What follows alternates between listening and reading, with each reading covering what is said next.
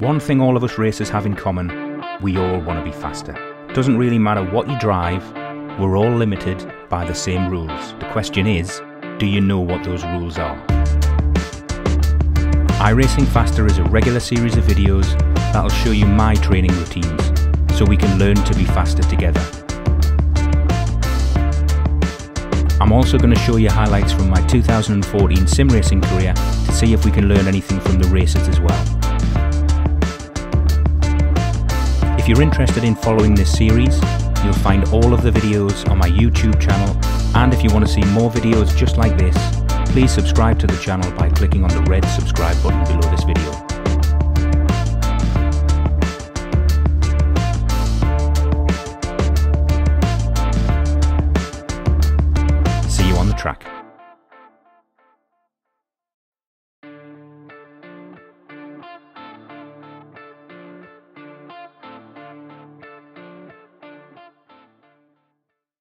So what we're going to look at today is how we can get 100% out of the tyres and in order to do that we've got to kind of understand a little bit more about the tyre itself.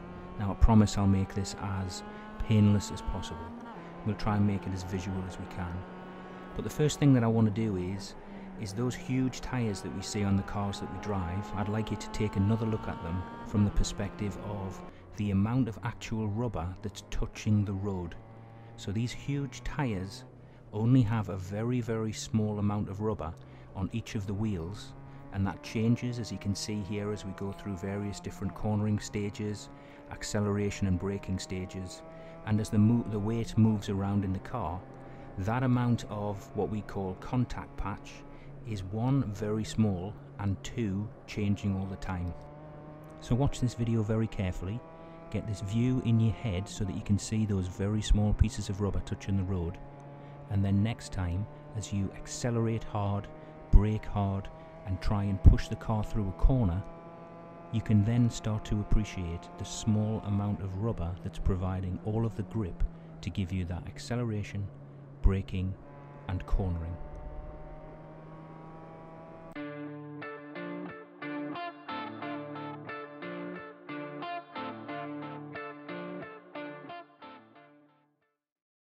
Whenever we're braking, in order to get 100% of the efficiency out of both the tyres and the brakes. We're trying to do that with the steering wheel in a straight line. Now, without this getting too uh, deep and meaningful, if your tyres have got, say, a value of 10 to, that they can use to stop the car, if you want all 10 of those points to be used by the tyres to slow you down the best thing that you can do is to do that with the steering wheel perfectly straight. The second you start to want to use some of the tyres grip to get you to turn through a corner so that the, the car itself doesn't just slide straight off the track or just continue in a forward motion.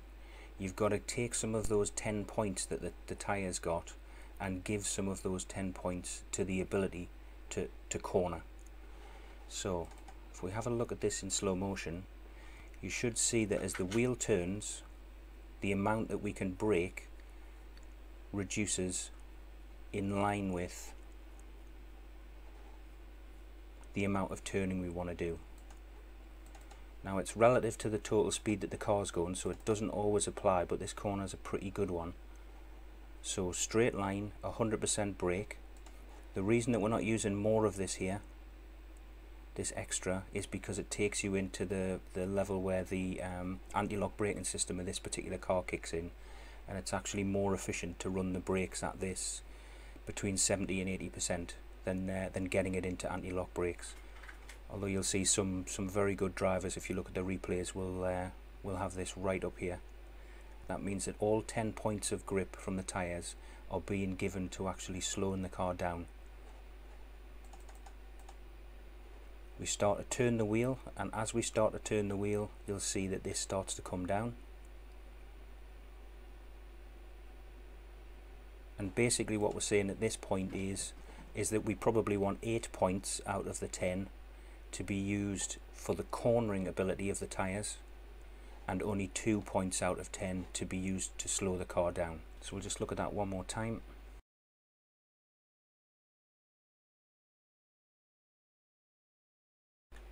So straight line, full acceleration. In theory, at this point, we're given 10 points to acceleration. The reality is, is that this car isn't strong enough to pull the skin off a rice pudding, so it's probably only using about five or six of what the car can actually do. If this was a much more powerful car, then the points in terms of acceleration really come into play as well. But it certainly doesn't in a car that's uh, as, as light as this one in terms of its engine power. So full brake and straight line, straight wheel, 10 points to slow the car down as quickly as possible.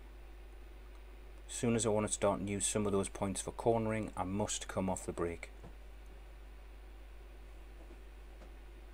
Now I'm using 8, 9, all 10 points are now being used to help the car turn in as fast and as tight as the actual grip of the tyres will allow. It also, doing it this approach, helps keep the car really, really balanced as well.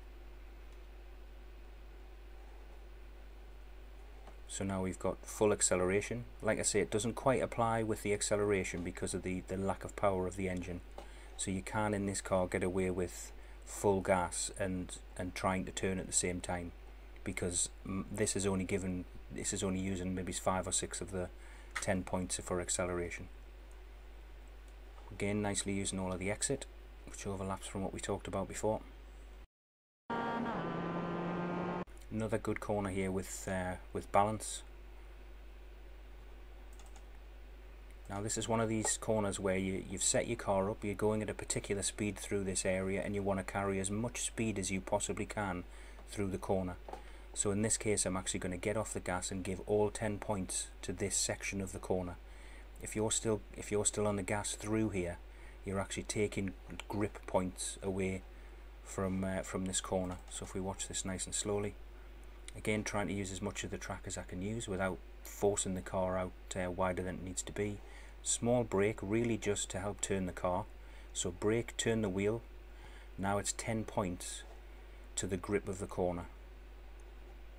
And you really can if you do this really nicely this really tests um, the balance of the car, the balance of your setup. And now back onto the gas. And you'll see that as the car starts to gain some momentum and speed, that I have to come off the steering in order to uh, to not cause a problem with acceleration.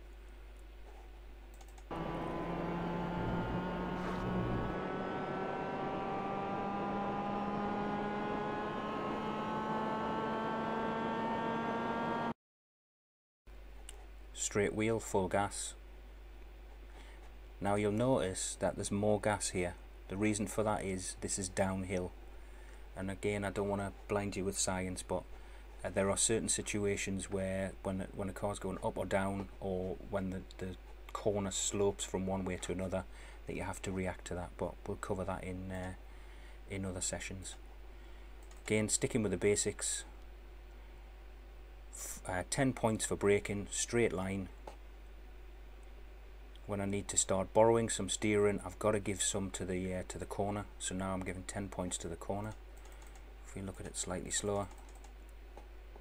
Okay, so downhill, slightly more brake than before. Perfectly straight steering wheel. You see the steering wheel starts to turn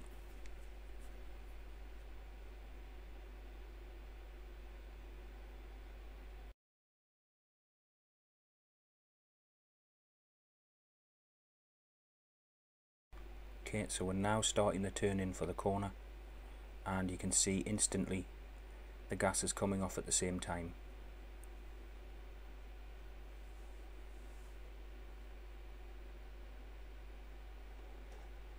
No gas, no accelerator, that means all 10 points are being used to grip the car through the corner, which means that I can take more speed through the corner and it also means that the car will be more balanced through the corner, so it's win-win.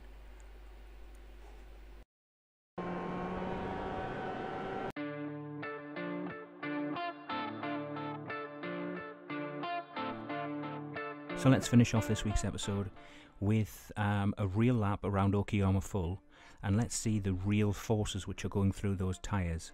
The graph that you can see at the bottom of the screen, we've divided it up in the same way that we've discussed today. So you can see the cornering forces on a tyre, accelerating forces on a tyre and the braking forces on a tyre. Um, where the actual word itself with the arrow is, is where you're looking at the 10 out of 10 value that we talked about. And anything in between is obviously a mixture of cornering, accelerating and braking. The crosshair is going to show you exactly where we are on this particular stage of the lap and you can see with the steering wheel, brake and accelerator what kind of uh, forces the driver is trying to put into the, the car at that particular stage. So as we pick the lap up coming into the uh, hard uh, right-hander you should see 10 out of 10 braking so the, the cursor is right towards the braking area and very quickly you can see it running along the outer edge between braking and cornering. We're now into an acceleration phase where we're doing acceleration and cornering at the same time. And as we straighten out the wheel, you can see it starts to center more and more towards just acceleration. So we're now onto the back straight of the lap, pretty much accelerating with a small, you know, 0.5% um, uh, cornering forces being used. That could be due to the um, the camber, the slope of the road. It could be very very small changes in uh, in steering which are causing that. But pretty much accelerating at this stage, and we're coming up to a hard braking zone. So watch it go down the centre towards full 10 out of 10 braking, and then switch into braking and cornering. We're now into full cornering starting to add acceleration and cornering and pure acceleration into acceleration and cornering through the other side. Pretty much 100% cornering now. Starting to mix cornering and acceleration. Coming into another corner, so we're heading towards 100% cornering. Adding acceleration and cornering. Straightening everything up, so we're heading towards the center of the, uh, the graph again. So now we're purely accelerating. Coming up towards a braking zone, so again braking and cornering this time, so a different kind of corner. Full cornering, cornering and acceleration, more acceleration. Moving towards the right hander, so we're cornering, getting onto the gas, full acceleration as we come out and the wheel centers up. Heading towards a fast right-hander.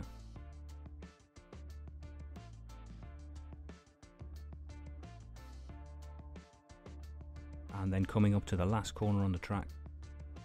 Brake and corner. Accelerate as quickly as possible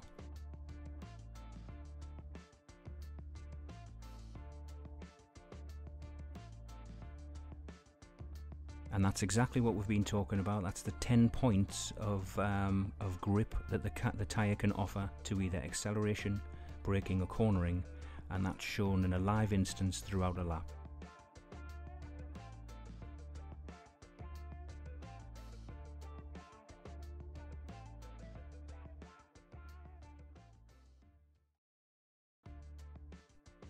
So what I'd like you to start thinking about now is, is that braking in a straight line is the fastest and shortest way to stop the car. And when it comes to cornering, that you must come off the brake in order to give some of those braking points to cornering so that you can actually use the tyre at its most efficient way to get through the corner as fast as you possibly can.